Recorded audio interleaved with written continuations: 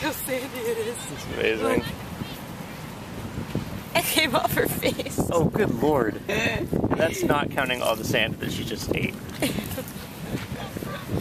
Yes, you should definitely rub your face in that. That is a great, great plan. so nasty.